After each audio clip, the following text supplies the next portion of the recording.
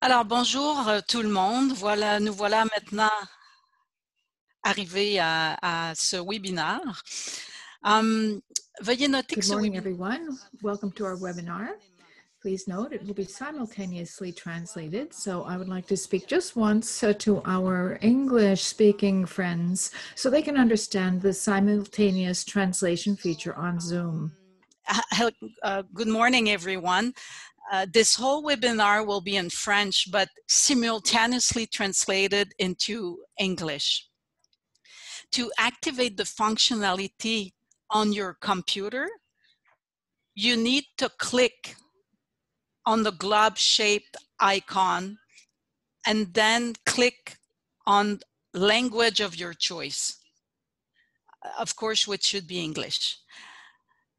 For those who have a smartphone or a tablet, you must first click on More, then on Language Interpretation, and then on the language of your choice. So thank you very much, everyone, for being with us today. And uh, please note that those who are joining by phone only, will, you will not be able to activate the interpretation functionality. Thank you and have a great webinar. Alors, euh, comme, comme vous So, As you heard about uh, the way the webinar is uh, going to run, all participants must activate the French interpretation channel by pressing the gl- uh, globe icon and selecting the French language. So, and also, as I said, if you have a smartphone or tablet, please first press more and then choose language interpretation French. Uh, hello, and uh, if you need any assistance during this meeting, do not hesitate to communicate with uh, Ms. Naomi Mann on the chat, and you can find the chat uh, button at the bottom of the screen.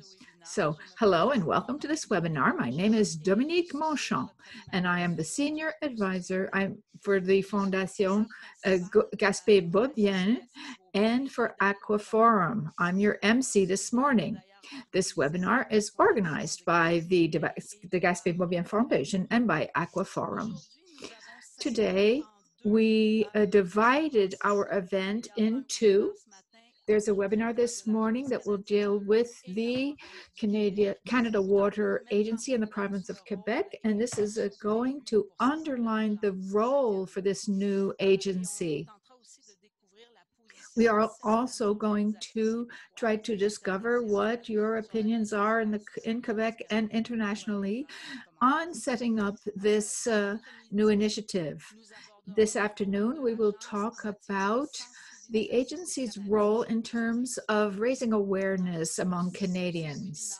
So for these webinars, whether it's this morning or this afternoon, we first of all would like to inform you about the implementation of the Canada Water Agency, but mostly to hear your recommendations uh, and comments that you will raise today.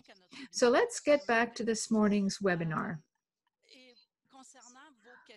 Concerning your questions, well, we have around 200 participants joining us this morning. So, following each panelist's statements, I will moderate a question period.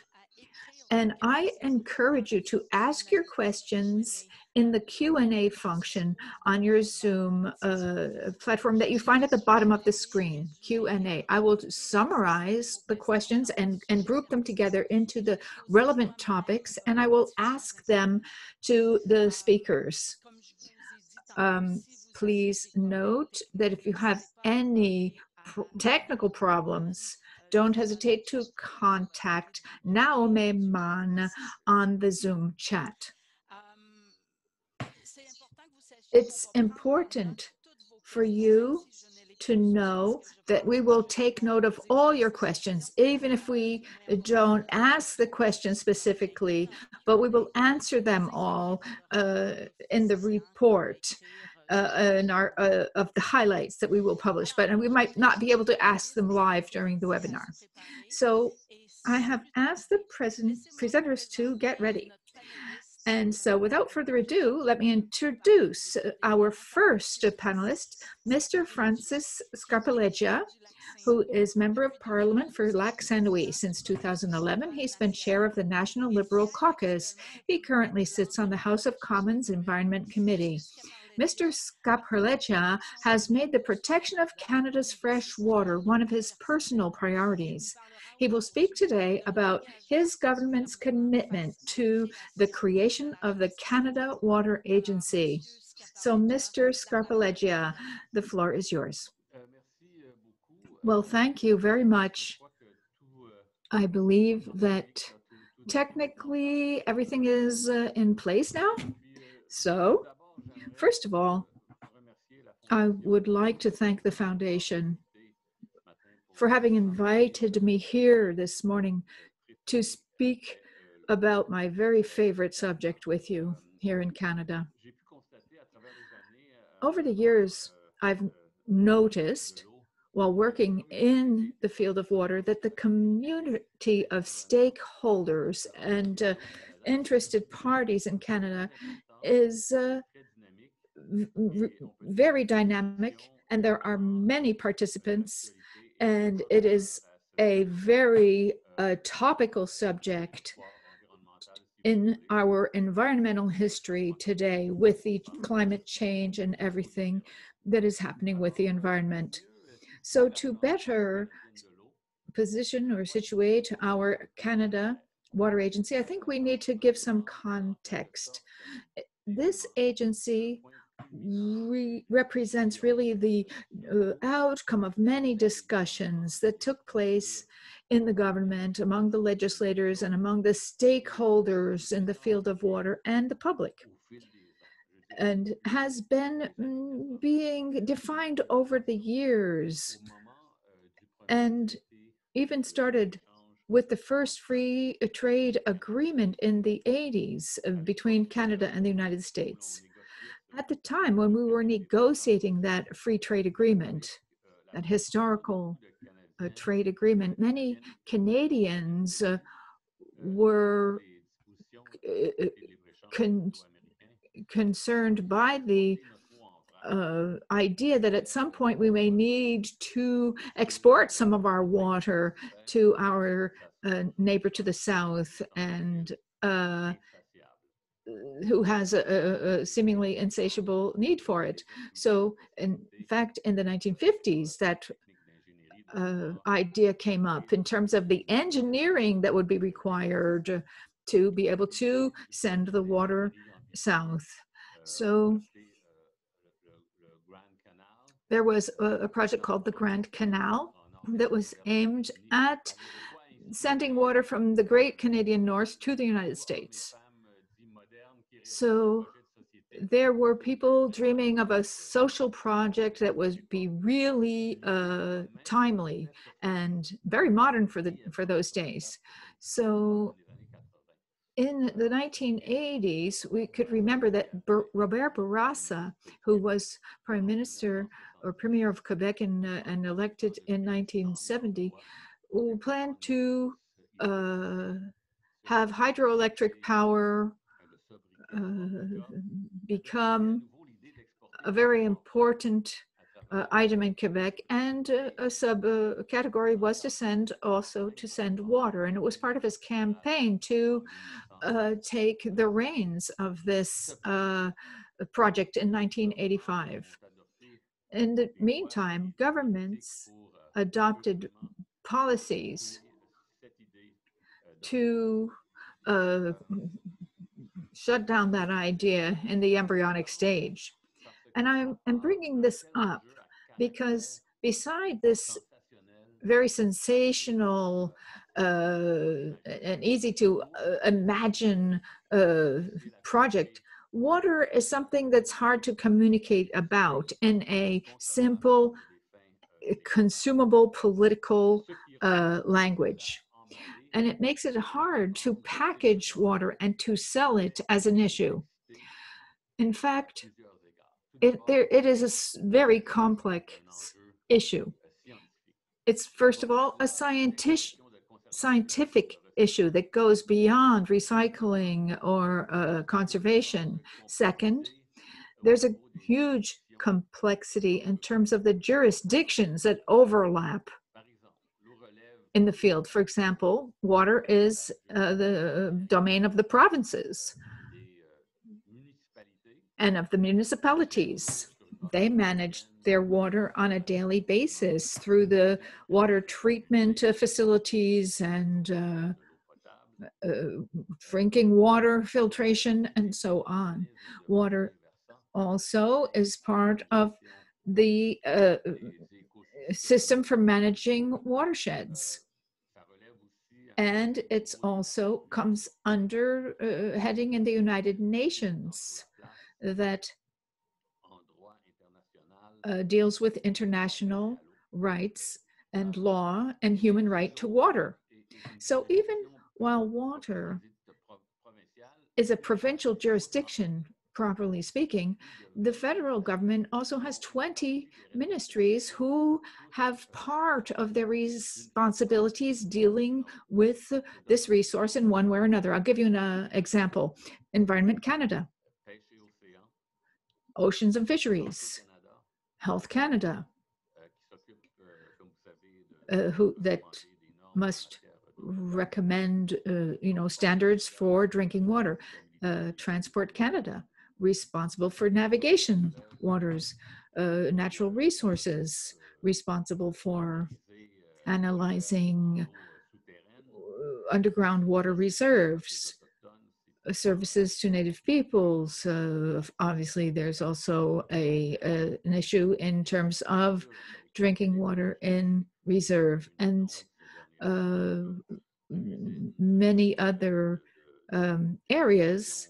Uh, we had a an announce uh, with Minister McKenna about huge amounts to be invested to put uh, drinking water infrastructure in place in Montreal. So there's the issue of human rights on the international level as well, uh, uh, the right to water. And also, Canada is very involved in developing projects in emerging uh, countries and helping them to develop their access to drinking water. There's another ministry that's uh, uh, involved in supporting uh, water issues and throughout their industrial uh, policies, Industry Canada. So also public services. They plan to drink, uh, uh, build a drinking water reserve in the native territories. And they are in charge of looking over the bids for that project. So there are so many levers to handle that it's very difficult to put it all into one package. In terms of taxation, for example, sometimes you can solve a problem using uh, just a, a tax credit or subsidy or something well, the governments can do certain things to try to deal with one or another aspect of water, but there is nowhere where we can um, protect our safety, our water security. So the question is open. There are too many and uh, stakeholders needed. Too many people are working individually on the scientific side, on developing technologies, on producing and offering uh, products and services, including engineering services, managing waterways, cleaning uh, uh waterways, and, and so forth. So there are so many stakeholders that we can't even know them all. We cannot assemble them all under one umbrella. All these stakeholders have uh, the responsibility for ensuring our water security uh, here in Canada and also uh, in other countries. So there is an invisible hand that is if there was an invisible hand guiding everything like in the free market, governments can uh, provide a structure for um, the management uh, of these things, but these are very complex tasks. They uh, involve uh, sharing uh, tasks, sharing knowledge, and, and, sharing technologies. So often we talk about strategies, national water strategies. And even in the recent uh, throne speech, they mentioned, and we have to clarify this idea so that we come up with a practical national water strategy. It is impossible to include all the elements that we need to deal with under one strategy to uh, ensure our water security. It is far too vast and varied a field. Water is a field where you need to take small sips at a time. You can't drink a gallon in a gulp. There are many elements that, as I said, don't come under the same jurisdiction. So, in my opinion, the Canada Water Agency should help us gain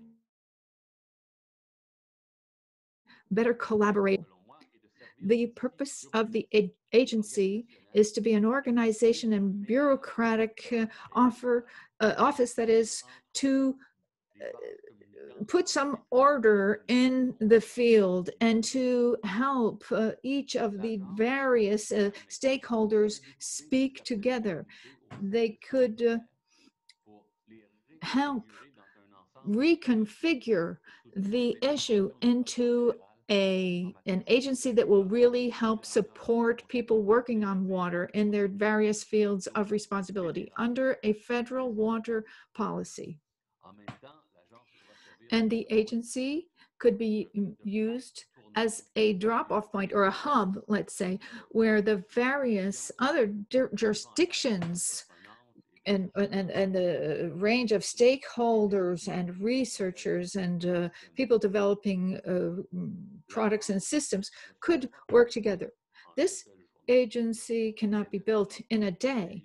It cannot be managed in one single day. The agency must be the cornerstone. It must be the starting point, and it must take form gradually what we're talking about here is a bureaucratic reform on the federal level, a kind of a reorganization of, of, of a part of the federal machine. This is a difficult process that has to be done carefully.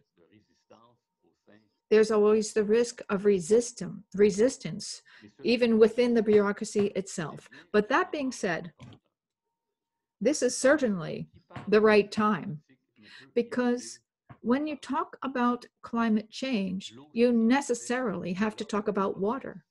Water is where we are most, uh, the weakest in terms of environment uh, change, climate change.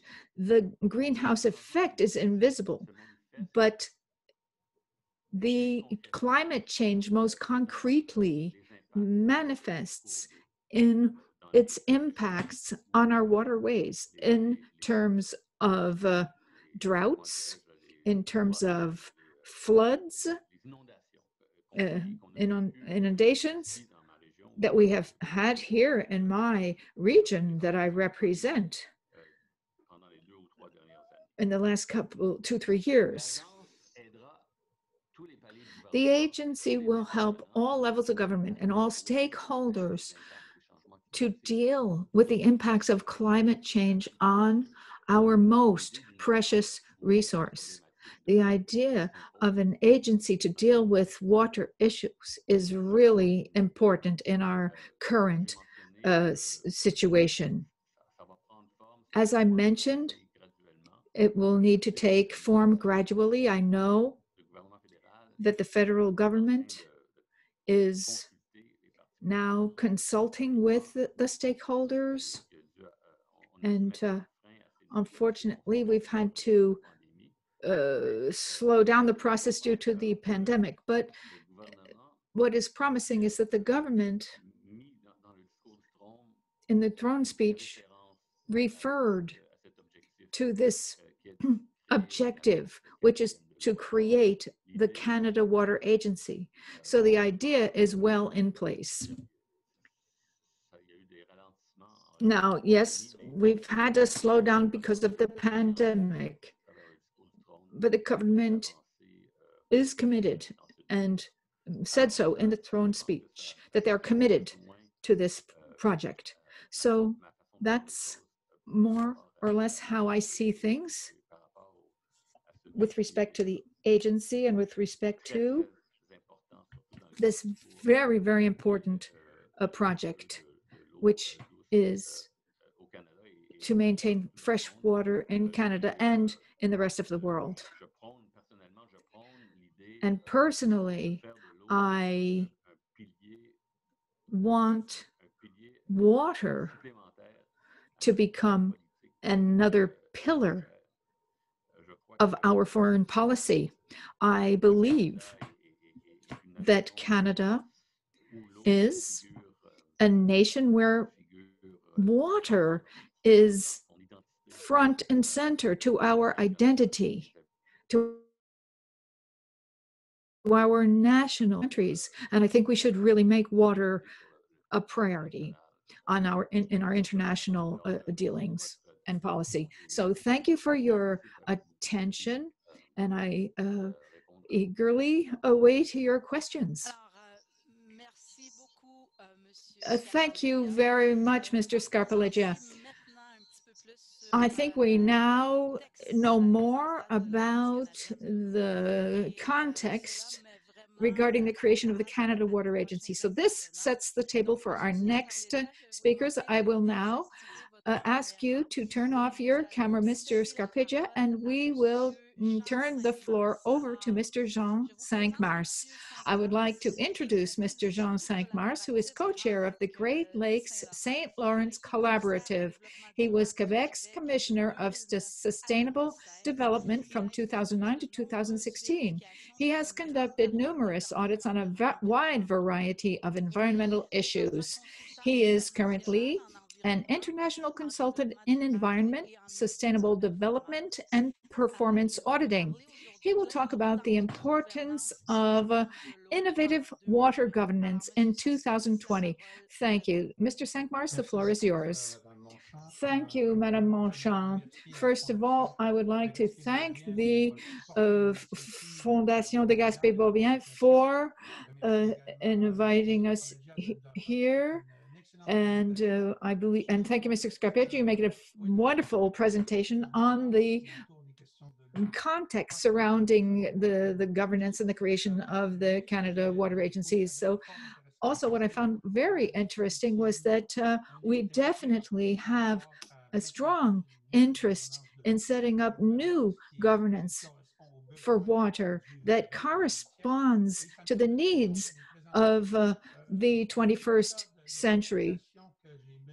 And I'd like to present to you the results of a survey I conducted, a consultation that took 18 months, but really took two years. And the objective was to identify measures to be able to propose a modern Canada water agency for, for the Great Lakes and Saint Laurent and for uh, the uh, mm, Quebec and Ontario. So what is the Great Lakes St. Lawrence Collaborative? The most important word here is collaborative. So here you see some photographs of people who were very active in the field. These people were very involved in creating solutions uh, for the uh, Great Lakes and the St. Lawrence also a panel of experts talking about uh, the various hypotheses possible to come up with recommendations that would be relevant. And so this was an 18 month consultation, as I said. And through that consultation, we came up with 30 recommendations.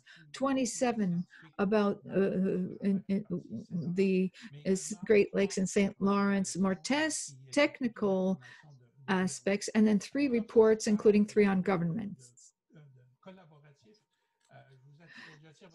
So I'd like to draw your attention to the text on the right when it says 70 online meeting, 220 online participants, five webinars, and 225 attendees in person who attended two summits. So there was a lot of uh, participation. And I was really astonished to see the generous uh, contribution of the experts who came to us uh, from Quebec, Ontario to help further uh, this debate. Now, what are the main themes? First of all, climate change. Uh, this is probably the most important thing concerning water today. As Mr. Scarpaleggia said, uh, we the the mitigation aspect is something completely different but we have to talk about the ecosystems that are affected and in uh, uh by floods by uh, drought and we need to talk about the, these effects of climate change. Now, the second theme is are, are the beaches and bacteriological contamination. Uh, the health of water is very important for Canadians. And when you have contaminations that cause closures of beaches, these have huge impacts socially and economically. So this is a very essential point as well that we pay a lot of attention to. And the climate is a very concerning issue. In the Great Lakes and St. Lawrence, we see uh, zones where there are oxygen defi- deficits affecting the flora of uh, the area. Now, the, also the toxic uh, materials that are found in water. We have more and more problems with contamination so that in the 80s and 90s, we put water um, technology in place that uh, we're able to deal with the old contaminants, but they are no longer able to deal with the new contaminants that we have. So we need to put new systems in place to make sure that the contaminants and toxic substances uh, be removed from the water. So these are very important considerations as well. Now the 30 innovative recommendations, well, we did a report on the Great Lakes uh, uh,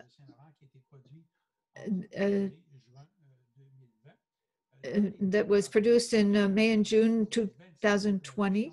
There are 27 recommendations uh, that touch on each of the themes I just mentioned. Then we did a third report dedicated to governance because we all recognize that we can have excellent recommendations, even a wonder implementation of those recommendations. But if governance is not in place, if it is not appropriate, the efforts will uh, not uh, come to fruition and investments will not come to fruition. So we produced three major recommendations for innovative governance, uh, to, uh, to have an approach that is cohesive and provides access to a widely dispersed uh, expertise, contrary what we had in the 90s, where the expertise was at the government level. Today, we have expertise in research centers and universities and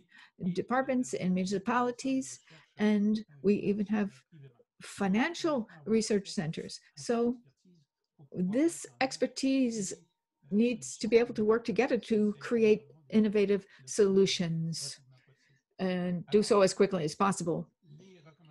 Now, the recommendation on governance, well, first of all, we recommended that the Government of Canada, in collaboration with the governments of Quebec and Ontario, establish the institutional arrangements described in this report.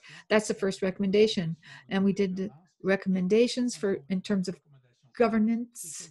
And the key recommendations is that the two levels of government work together to establish the most precise areas where the recommendations would be uh, put in place.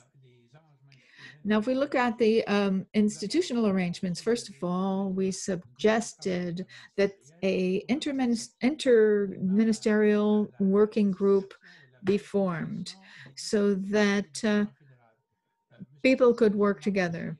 Mr. Scarpaleggia mentioned that there is some 20 ministers involved. If you add the provincial ones, if you add uh, non-governmental organizations initiatives, there's an impressive number of stakeholders involved. So often, as Mr. Scarpaleggia said, we have to clean this up a bit and, and organize it in order to have a framework, a governance framework uh, to make it work. So we took the um, working group's recommendation uh, and, and, and uh, to create a commission for the Great Lakes and the St. Lawrence. And um, the idea is to coordinate and to have a support of a secretariat.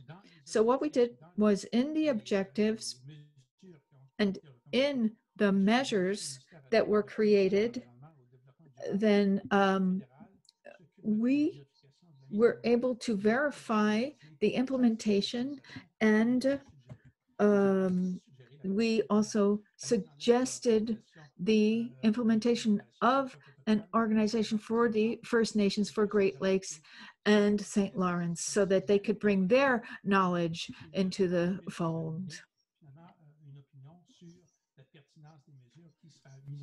And the relevance of the measures that would be put into place. So if we look a little lower, we suggested with the teams to take care of these things for climate change. We suggested teams for the implementation for algae. Same thing with bacteriological contamination for the beaches and exposure to toxic substances. So the experts, the expertise centers will work with researchers and experts will come from different organizations to make sure that we can have access to the maximum amount of expertise available at home here. The recommendation now around funding for the Great Lakes, Great Lakes and the St. Lawrence, we asked the federal government to make available $2.2 billion over 10 years. So that's $220 million per year. So if we look if we look at how the budget would be break, be broken down, $875 million for climate change, $593 million for beaches and bacteriological contamination, 400 million for nutrition, and 261 million for toxic substances and contaminants of emerging interest. Now, you know, like I do, that funding is essential if we want to implement this and be efficient in achieving these goals. So that's what we've evaluated in terms of costs, and that's the funding recommendation that we have communicated to the federal government. Now, what I'm interested in in the white paper on the Canada Water Agency is that first, we learned that there were there has been uh, discussions on this by the federal government for years to implement a new governance for water. What we've done at the collaborative, well, we tackled specific questions and we wanted to come up with recommendations around governance. Now, there's a link, of course, between the collaborative's initiatives and the initiative to put in place a management framework for managing water at the federal level. So I think that we have made progress, and maybe this was independent of the Canada Water Agency, but we have uh, gone through a reflection exercise, and it's very consistent with the objective that was presented this morning. So these are two initiatives that I already said that are that fit nicely together, just like two pieces of Lego. A lot of work was done on this, And it shows that we could very quickly put these measures in place. And this would support the federal government's initiative to put in place a Canada Water Agency. So this concludes my presentation this morning. Of course, I will be available to answer questions during the question and answer period. Thank you very much.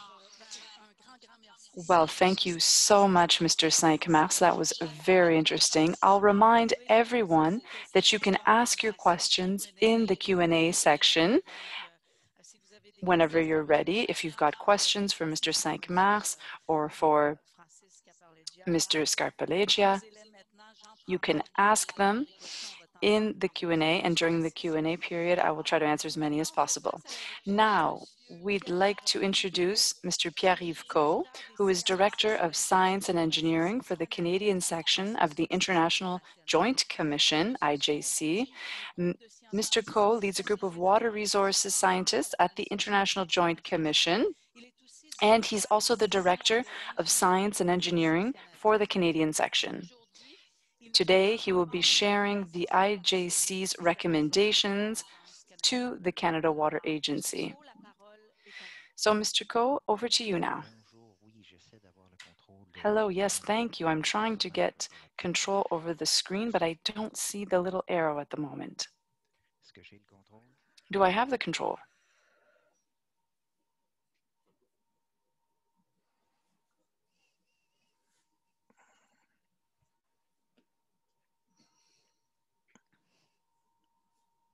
Stephanie, est-ce que j'ai Stephanie, do I have the control of my screen? Excusez-moi. Pardon me. Pouvez-vous changer mes diapos alors? Or in this case, could you please change my slides for me? Stephanie, can you hear us? Oh, okay, that's perfect. D'accord, merci. Alors, euh, merci beaucoup, Madame Monchamp. Thank you very much, Ms. Monchamp, for that introduction. I'd also like to thank the De Gaspé uh, Beaubien Foundation for inviting me to this panel today. Next slide, please. Je vais donner en bref So I'm going to give you a quick overview of who the IJC is. I'm going to talk about the challenges that we've got euh, and the approach that we use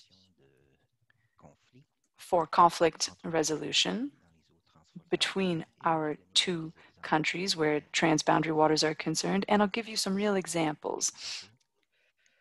Next slide, please.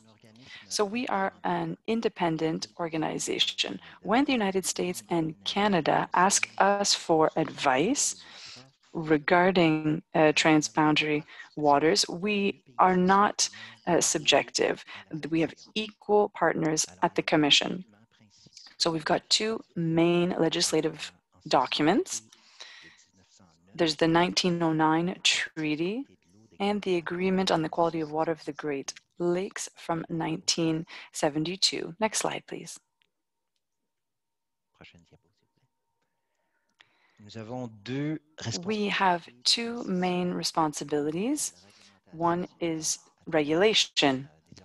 So throughout our rulings, we regulate the levels of water in certain uh, watersheds, and we also investigate uh, cross-border problems. So sometimes these are uh, referrals, if you will. We do this according to fundamental principles. For conflict resolution, well, what we want is we're after the common interest of both parties. So there's a factual study done, that's essential, and we do that in order to find that common interest. And the role of the Commission, and, my role in terms of Director of Science and Engineering, is to make sure that there's scientific data and institutional excellence. Next slide, please.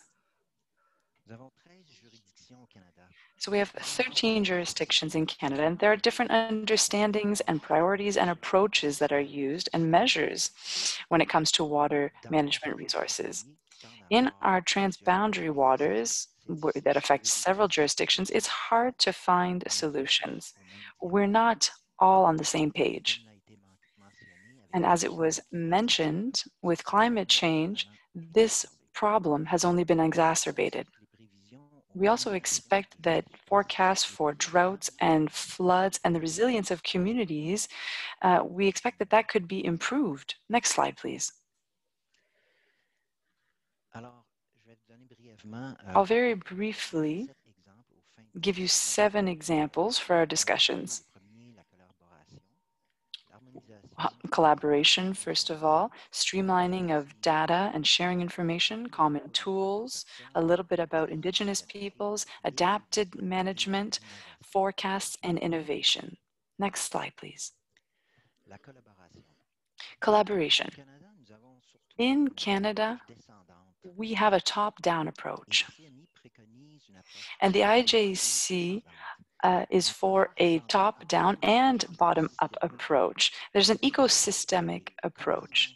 So we use the knowledge, the tools, and the advice and the ways of doing things, both from locally and regionally. We use all of that. Next slide. Streamlining and sharing information.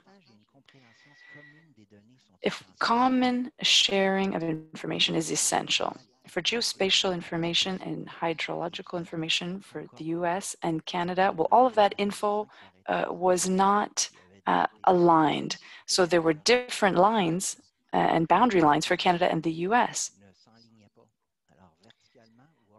So vertically or horizontally, uh, these lines did not match up. So you could understand why it'd be difficult to make decisions when science.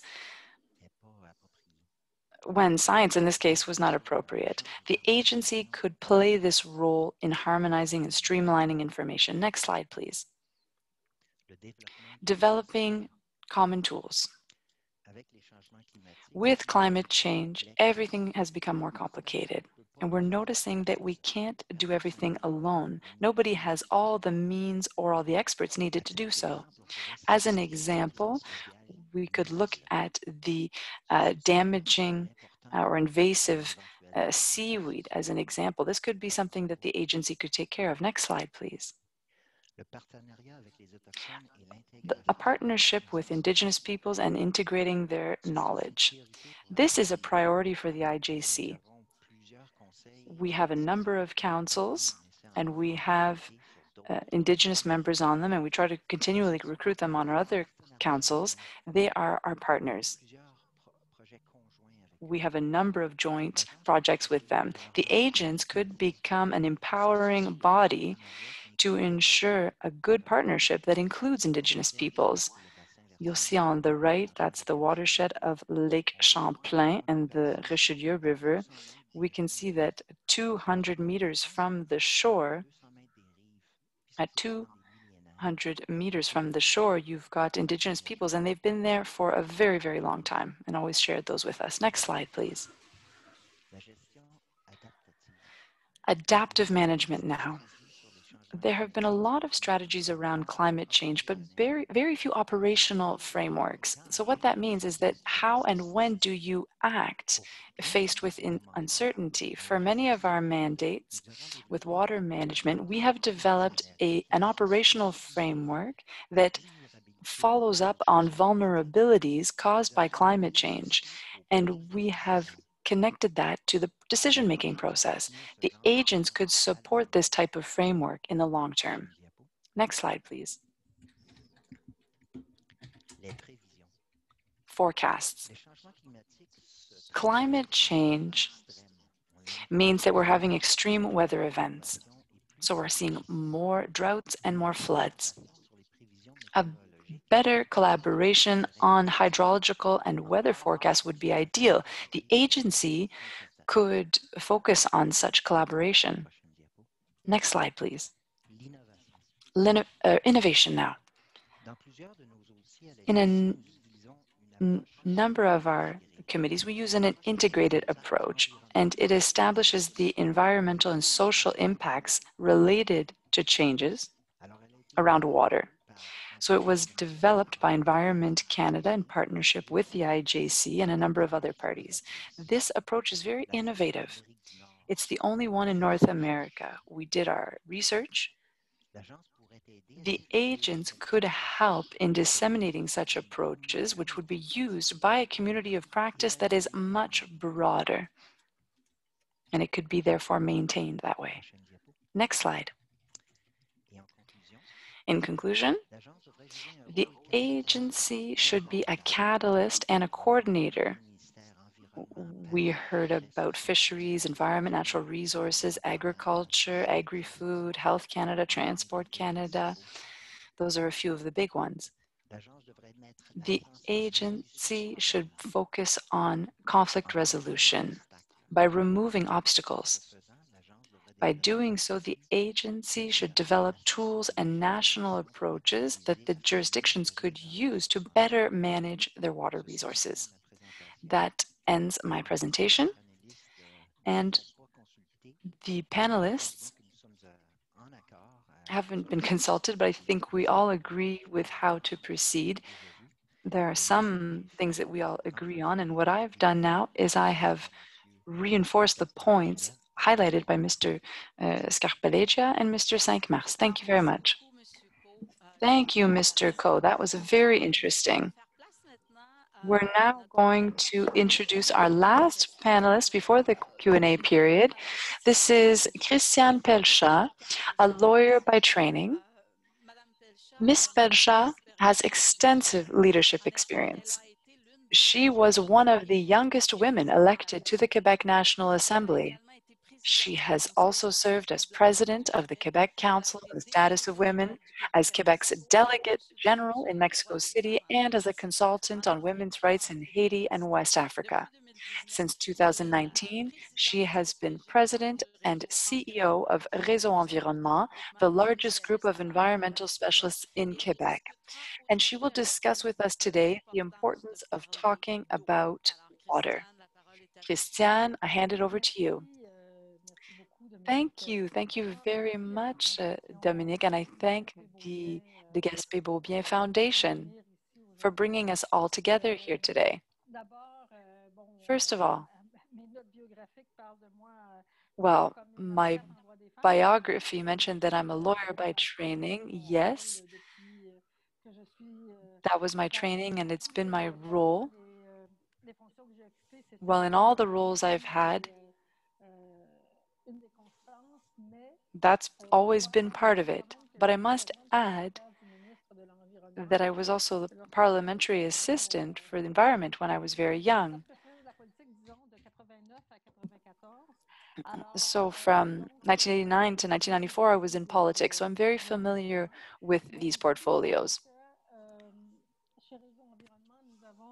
At Réseau Environnement, we adopted a new vision about a year ago and the idea of this new vision is to become the catalyst of the green economy. And as you know, the green economy means good governance, it means a low carbon economy, but it also means equity among citizens or equality. equality.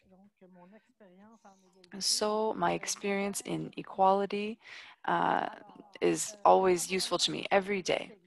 Now, we are a network that has been around for over 60 years. For those of you who know it well, well, you know that it started as the Quebec Association of Water, and the idea was to promote water and protecting that rich resource, and then it was merged with another organization, and then it eventually became Réseau Environnement, Environmental Network.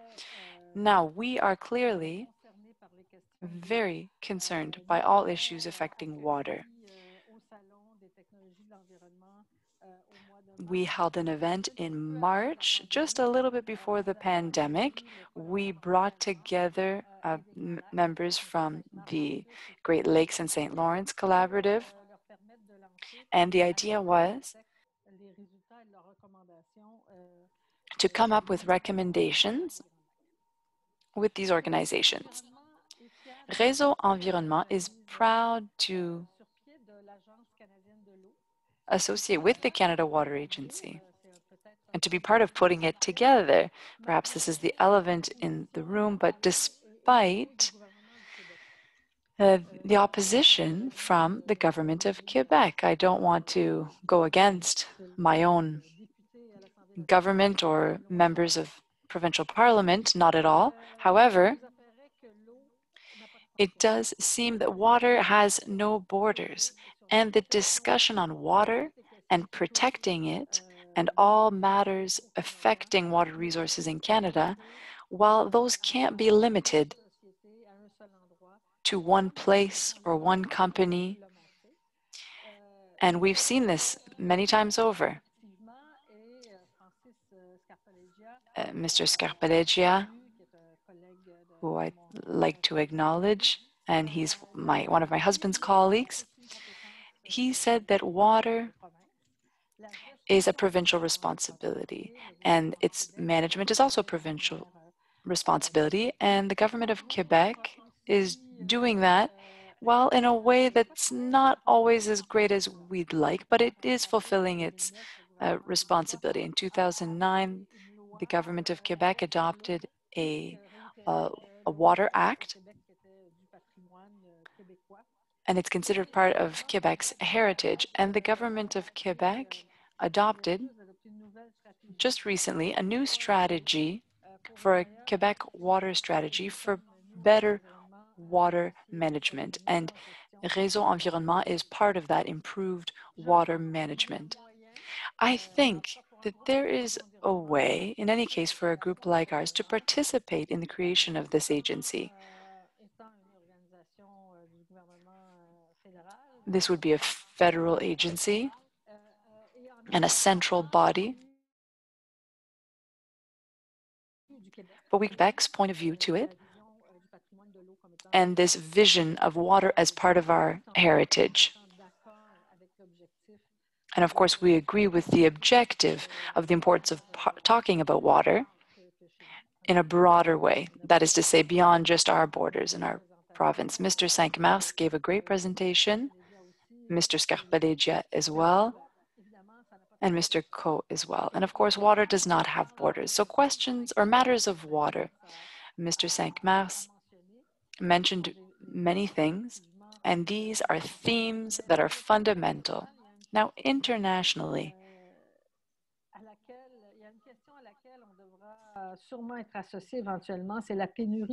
we have to address the lack of water in some countries and the poor management of drinking water and of fresh water in some countries. This is going to come back to the UN and Canada and maybe even Quebec will have something to say about that. And so once again, water, this issue does not have borders. And so all of this is happening with much transparency. Now, the federal government wishes to put together the Canada Water Agency. When we talk about collaborative federalism, well, that is a concept that I really like. I hope that that will be the case when putting together this agency.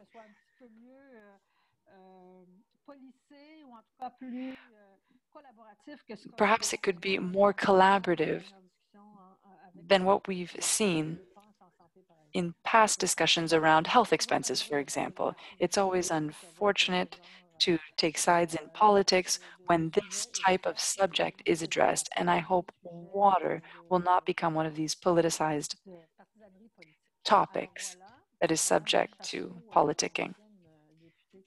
So there you go. That's it for my role as a former uh, politician. So ensuring the safety, cleanliness, and good management of water, that's an essential objective for us. There are studies in the US that show that the poor man, the poor quality of water or problems related to water in the US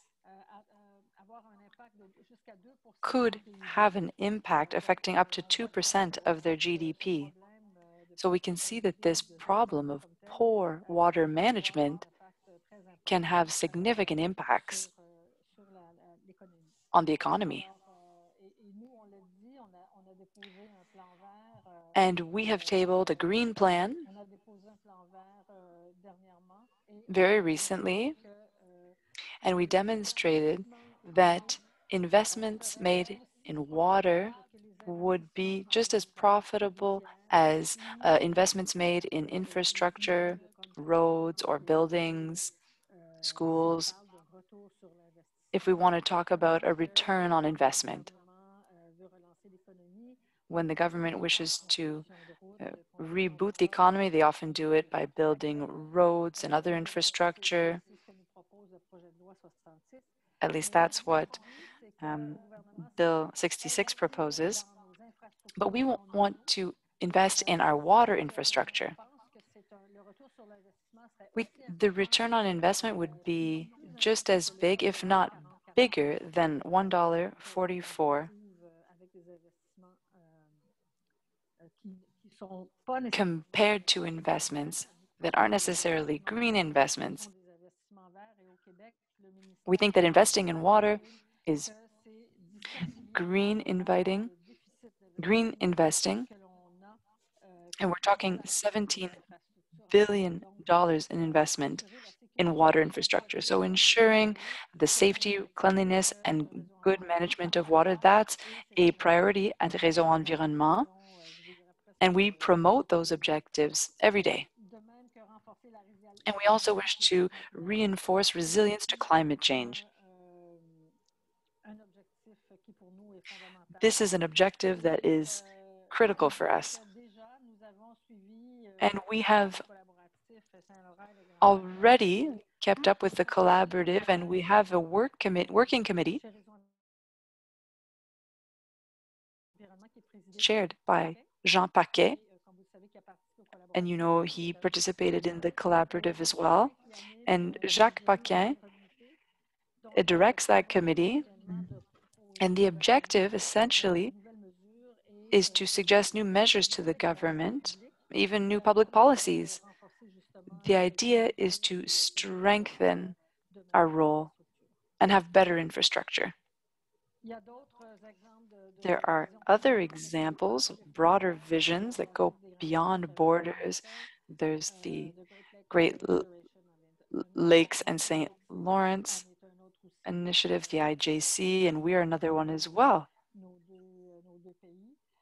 This is something that affects both countries. Of course, there's the International Commission on Water, and if I'm not mistaken,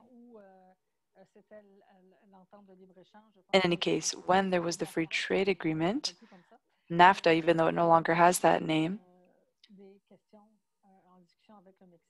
there were also discussions with Mexico and the US on water. So we talked about challenges, climate change, natural catastrophes related to water, and mm-hmm. piecemeal governance for water.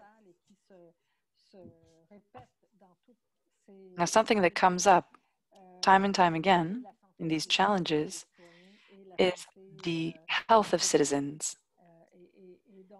and the cleanliness of our water. This is an underlying objective that is very dear to us. So we agree with the role of the Canada Water Agency to marshal all of the knowledge to deal with water-related problems strengthen management of transboundary rivers. I already talked to you about our Water Cleanup Committee 2.0. there's an issue of exposure to contaminants that's become a public health issue. There was a, a media coverage on this and even a, a report somebody said that there are some contaminants in the environment and in our water, and we understand that our exposure to new contaminants uh, is becoming a public health issue, a huge one. So we're talking $400 billion per year lost in productivity and health costs in the US. So that is also an economic issue, as I was saying. So our objective is to help our governments understand how to modernize installation, reduce uh, the problem, something that I would say that we don't talk enough about and our on our 2.0 committee. We have a representative from a number of uh, producers to help us with that. So in summary if the agency meets the objective to ensure water security and promote uh, thinking process about the watersheds and transmit a, a durable, uh, sustainable her heritage um, about water that will meet the objectives. So thank you very much. And I'm mm, ready to answer questions as the case may be. Well, thank you very much, Christiane. That was a great uh, uh, presentation. So now I'd like to uh, ask all panelists to turn on their cameras and their microphones. This is now the question period. I'd like to uh, warn the panelists, we've received a lot of uh, questions and most of them are for Mr. Scarpaleggia because everyone is very interested and they all want to know what's going to happen with the Canada Water Agency, uh, what it's going to do, what the jurisdictions will be. So the way I'm going to uh, proceed is that, of course, the Canada Water Agency is not implemented yet. This is our chance to make recommendations and give comments, knowing that the uh, this webinar, the extracts will be sent to, to the elected officials uh, and people in charge of looking after the Canada Water Agency. So I'm going to ask uh, also all our panelists to give their opinions on the questions that I'm going to ask, and this will help to uh, you know strengthen your recommendations. So let's start with the first question. A lot of people ask the question about the role of provinces with respect to the agency. And I know there are a lot of uh, jurisdictions uh, uh, provincially as well. So, what are the federal government's intentions in terms of uh, the dialogue with the provinces? And I'll ask Mr. Scarpaleggia to start with that, and then I'll ask uh, the other panelists what your positions are with respect to this question. So, Mr. Scarpaleggia, yes, thank you. Thank you for that question. First of all, and on my own personal behalf, I'd like to speak because I'm not the person in charge of the policies at the uh, uh, House of Commons. I'm not in charge of this uh, file. I do work with the person who is. But anyway, in uh, my opinion, in terms of the role of the provinces, well, for the time being, their role is going to be to answer the phone. Uh, the gov- federal government is going to have to consult the, the provinces thoroughly for their point of view. So the purpose, I, I believe, is to try to uh, clean things up on the federal level. And this agency is going to need to create its own priorities. And to do that, it's going to have to know what the stakeholders' uh, positions are, including the provinces and the municipalities. So these uh, stakeholders will be asked to uh, uh communicate their priorities and whether they have any kind of action plan, a support plan, a technical plan, or what uh, have you. So the agency will want to consolidate things on a federal level. That's my opinion. Okay, Mr. Cinq-Mars, do you have anything to say on the federal jurisdiction in terms of this agency and how it can deal with the provinces? Well, yes, of course. Um, like Mr. Scarpaleggia said, that there is some uh, cleanup, administrative cleanup that has to be done on the federal level, but I think that Canadians are expecting to receive practical solutions. You know, we can always uh, clear up the governance, but there are concrete problems in terms of climate change, etc. And Canadians want solutions. So we look in the past, what has really worked? And I there was the action plan for the Great uh, Lakes and the St. Lawrence and Simon Fraser. So these programs uh, uh, are, are those that brought the financing to support the initiatives to clean up toxicities and so forth. So these programs had a lot of success the action plan for the St. Lawrence was very successful in terms of reducing industrial contamination and toxicity. So I'm surprised not to see other models that could resemble those models that were so successful in the past. So in the uh, like uh, in the, in the St. Lawrence Collaborative, we proposed a more modern model, something different that was done in the, than what was done in the 1990s. But there was very active participation by the federal and provincial governments, and then a lot of financing from the federal government. Because when you look at initiatives dealing with water, if it's to finance a drinking water uh, or water uh, treatment plant, the federal uh, involvement is very important.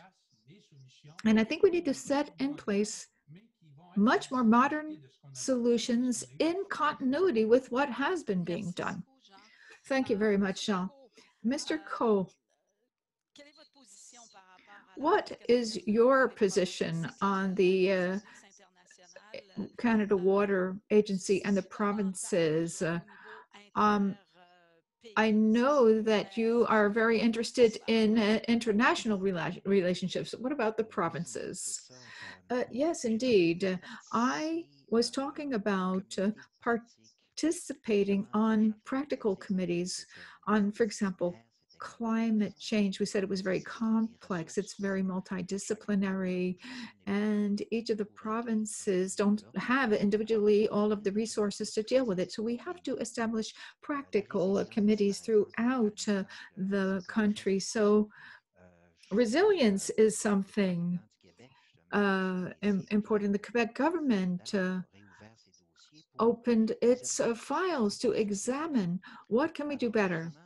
So we are open. We cannot do everything uh, on our own. I would take the example Champlain Lake, uh, Richelieu River. There's a third theme on that, and it is for first responders. How do you prepare, for example, for floods uh, for first responders? So there are a lot of new ways of uh, dealing with the floods, including the study on insurance. How does the United States handle it in terms of insurance, for example? I mean, it's a detail, but how can we better use our systems, our insurance uh, systems uh, in, in, this case? To support what Mr. Cinq-Mars was saying, the optimal management that was done by Agriculture Canada to manage uh, uh, farm practices. Well, in Quebec, we're talking about doing that. We have some funds put aside for that, but there are a lot of different uh, um, types of projects like that, and there are a lot of different things that we can do throughout the country and uh, support those projects that will be of a benefit to all of us. Thank you, Mr. Caux. Madam Pelchat, I know uh, we uh, heard your position, but I just thought you might want to add a few words. Well, I think that this is an opportunity that we should really take from the uh, Canadian government. We can't miss this opportunity. Even though we do have our skills in Quebec, it's a, a good time to take a leadership role, especially in terms of the St. Lawrence and the Great Lakes uh, that uh, cross uh, country uh, lines. So also, like the others said, to, to clean up things in terms of the administration on the federal level because the, the laws have not been reviewed uh, in many, many years. And I think it would be a good time to do that. And also, all the people around the table, not only the speakers, but the people who are participating, it's uh, it would be nice for them to have some leadership uh, from the federal government. And I'll just give you an example of what Mr. Cinq-Mars is uh, uh, talking about the $2 billion per year. I'm sorry, over 10 years to invest in the recommendations in the collaborative that's not a lot in 10 years two and a half billion dollars in 10 years so there are some solutions that could be mm, put forward and we wouldn't have to wait too long to see something concrete come out of that now will this uh, i mean the recommendation uh, the recommendations of the collaborative could be made part of the Canada agency. But for us, what our members are often saying is, oh no, let's not have another committee, another this, another that, not another agency, but another, you know, think tank and so on. That people want to see something concrete, especially in terms of the impacts of climate change on water and the impacts of water on climate change. So there, I think there's something that uh, it's an uh, opportunity that we really need to take up very quickly from the federal government. Thank you very much, Christiane. And now another question on the subject of uh, native communities. So uh, should we we the, the question is about integrating the point of view of uh, um, native communities uh, at every step of the way how do you see the integration of uh, uh aboriginal organizations mr Kapegia, yes i do agree with the idea of having federal leadership but when we talk about i mean the way i see this agency is that it would be like having a role of a hub, of an advisory hub, because this budgetary decisions, for example, will remain in the hands of the hands of the departments in terms of uh, infrastructures, uh, communities, environment, and so on. But the agency would have the expertise to be able to uh, advise those bodies regarding the investments that uh, we need.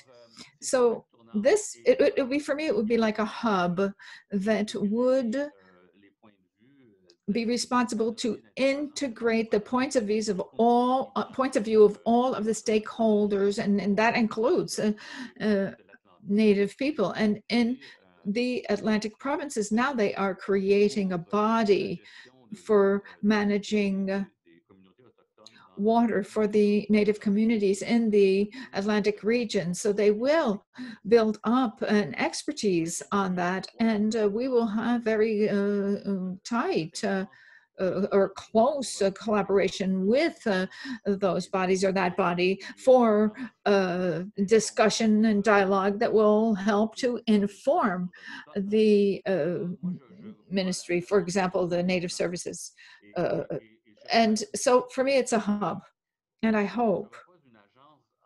And it, it won't be a traditional agency that is completely independent of government priorities. I would like the government priorities to be able to be a, a, part of the work of the agency to, to influence the work of the agency and that they should have the kind of leadership that Madame Pelchat and Mr. Cinq-Mars are talking about. Oh, well, thank you very much. Uh, Mr. Cinq-Mars, uh, in the work that you have done with the Great Lake St. Lawrence Collaborative, have you uh, addressed the position of the Native peoples in your governance? Yes, absolutely. In the terms of the consultations that we did on the Great Lakes and the St. Lawrence, we always consulted the Native people. We have on our committee, even members uh, of those communities uh, that have communicated their uh, positions. And as Mr. Caux said, and I'll give you an example on, on that of on Lake Champlain, the native people have lived there for millennia, so they have knowledge and they have an attachment uh, that is cultural, that is emotional to that area. So we naturally ask them for their opinions and use their opinions, and we have a lot to learn from them. So it is undeniable that the participation of Native peoples is very important. And if you want, you can refer to the graphic on the uh, uh, institutions that we presented, we have a native representative to uh, uh, stand on the federal committees and other committees to uh, help us in our governments. And it's really an essential aspect. Okay, Mr. Caux, in your uh, presentation, you were very clear on the presence of several native communities and reserves in in in the geography or the divisions between uh, Canada and the United States. So, what is the uh, what are the recommendations that you could make to the uh, Canada Water Agency in terms of integrating the Native peoples in the governance? Yes, well, the Commission, well, we have a trans-border uh, communications. We have technical and scientific and engineering liaisons, uh, liaisons, and then also people in communication. So on those, uh, uh let's say, advisory boards, we are promoting the participation of Native peoples. We want Native people on the boards. So twice a year, those boards report to the commission and discuss with the commissioners about the challenges and the issues. So the native people would have a continual in, input and communication. That's important. Now,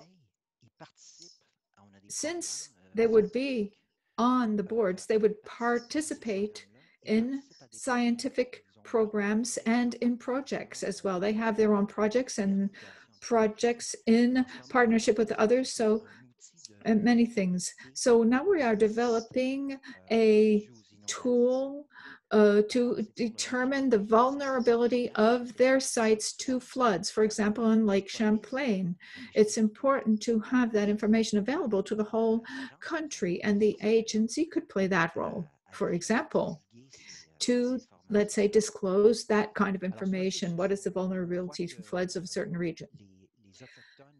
And we also believe, like Mr. Cinq-Mars said, the native people have a lot to contribute. And they should be formally informed of our discussions. Thank you. Madame Pelchat, do you have something to say? You have to unmute yourself. Here I am. Yes. In fact, I think if we want to be open and, and effective, we need to take into account the position of Native people. That is fundamental. So the agency uh, in the document that was sent to us uh, talks about a commitment to and, and from the Native people. This is fundamental. I would add that I would like to thank Mr. Scarpaleggia for his uh, presentation and his openness to, to this. And I think that all the groups that are here are very open to supporting the uh, federal government's leadership on that. Okay, well, thank you. Now, we have 10 minutes left. Uh, there are dozens and dozens of questions, and I cannot ask all the questions, but I do want to assure you all that we will take note of all those questions, and they will all be part of the recommendation report. Now, there are several questions about financing at all sorts of levels. The financing of the infrastructures, uh, old infrastructures. The problem is not only in Quebec, but several provinces are dealing with aging infrastructure.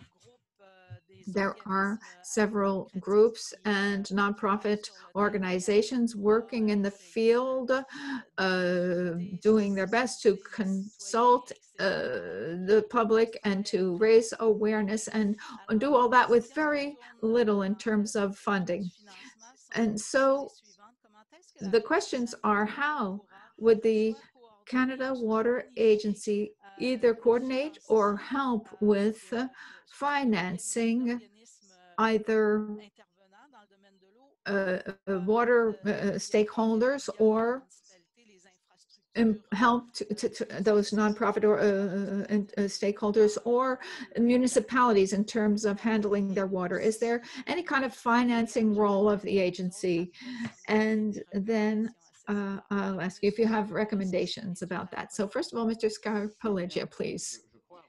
I believe that I did cover that uh, to an extent earlier when I said that I do not see the agency as being like a government department. It's not a ministry where it pays out financing for this or that project because those kind of things, in my mind, should remain within the mm, various ministry that hold them now.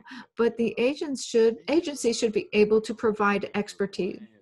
Expertise. So, let's say there's a need in some field regarding water, there's a need for some program, and then that that need has not been met uh, through the uh, uh stakeholders that deal with the agency. So the agency could communicate with the ministries involved and give expertise, provide uh, expertise uh,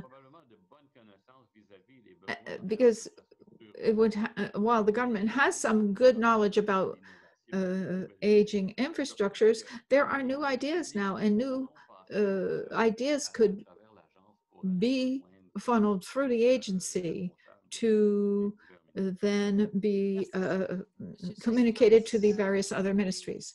Thank you. Mr. Cinq-Mars, do you have anything to say about finance initiative in the rest of the country? Well, for me, just a supplement to what Mr. Scarpaleggia just uh, said, if I look at my old role in sustainable development, when you have a performance tool in a ministry, what you're looking for is a plan based on a strategy, so an action plan. So I see that the agency would have that role to determine what the priorities are and what the technologies to be used are. If you look at the collaborative document, you see that we offered several initiatives based on new uh, technologies, data management, risk management, uh, managing uh, pollution, managing invasive species. There's a lot of technology. Now we see that uh, the agency could put some order into all those technologies and learn them with uh, and and align them with the needs for new infrastructure. So if the agency could identify what the problems are, what the uh, infrastructure needs are, and then be able to suggest the most appropriate tools to use, I think we would have a very practical action plan that would enable us to get started very quickly. Well, thank you very much. Mr. Caux, do you have anything to add on financing some of these initiatives in terms of uh, water management. As an international organization, it's difficult to answer that question. However, in my career, I spent a lot of time in Environment Canada and among the uh, departments. And uh, I would say, therefore, that it depends on the uh, groups that are made, the different kinds of uh, discussions that will have that will take place among the ministries, and how it will all develop, it, what will be tr- transmitted, and so on. So it's difficult to say whether there would be money uh, available to transfer. But I would just take one point that Mr. Scarpaleggia said, is that if there's a, a need among any uh, ministry, for example, you go to the Treasury Board, you have a strategic plan, you do a, a, a proposal, the, there is then a decision made in the cabinet to provide financing. I mean, it would be, th- that's the way the federal government uh, uh, deals with uh, uh, solving problems and, and, and covering gaps. So a ministry can uh, deal with that. That's my opinion. And that's my experience of the government. Okay, well, thank you. Thank you so much. Uh, Christiane? Well, I would say that in addition to what I already said on financing, uh, is that we have to take into account, uh, like you're doing, the consultation groups like we do at Réseau Environnement. We have our um, communities of practice with men and women who are working on the private side and on the para-public side and on the government side. So, and especially with what's going on with COVID, our community of practice was not able to support people working in the water treatment plants in Quebec who are uh, members at, uh, at Réseau Environnement. And uh, anyway, this is a way of going from the bottom up, like to tie in expertise in the field with the decision makers. So anyway, that's what I had to say. Okay, well, thank you so much, uh, Christiane. Well, unfortunately, our time is up already we are ending this webinar in less than four minutes, uh, uh, which just gives me time to conclude quickly. So first of all, I would like to thank our panelists, all of you. Thank you for the panelists and the um, participant. The part, your our panelists gave wonderful uh, presentations and uh, there were more than 200 participants in this webinar. So this webinar would not have been possible without the support of Fondation de Gaspé-Beaubien and the support of Aquaforum and the, the, the Gaspé Beaubien Femme to be a significant member in water management in Quebec and for five years. And they have created Aqua Forum and they are responsible for AquaHacking uh, to create technological solutions for water issues using the best Canadian talent. So the virtual event, event today is part of a series of webinars that are um, initiated by Global Water Future. You can go on the Global Water Future website and see all previous webinars with all the links and all the various subjects that they have talked about and all the various recommendations that have been made. Also, I would like to thank the Eco Gestion solution firm that contributed to the logistics of this webinar and also a huge thank you to the working team that uh, uh, designed this webinar and it's con there's Jean-Eric uh, Turcotte, uh, strategy, uh, uh, Mr. Cinq-Mars from the collaborative, Denise Cloutier from the Centre d'Interprétation de l'Eau, Antoine Verville, who is general uh, manager of ROBVQ, Jean Martin, who is uh, from technology aspect from uh, Sonic Sun, and Stephanie Alad for, from Gestion de l'Eau. Uh, so we're going to take all your recommendations uh, that were written down, all of your questions, all your recommendations uh, by the panelists and so forth. We are going to produce a document. We are going to send it out to, all the elected officials and bureaucrats concerned. Now, anyone who would like to send uh, as something in either individually or as an organization, you can put your recommendation of you on the Place Speak uh, platform that's uh, set up by the Government of Canada. It's bilingual and you will see the link in our chat. So that's it. That concludes our webinar, and I hope you enjoyed it. We'll meet again this afternoon at 1.30 on the same link. So click again on the same link to enter this that you use to enter this platform. At that point, we will discuss Canadians' awareness of water issue. Thank you so much, and see you soon. Merci.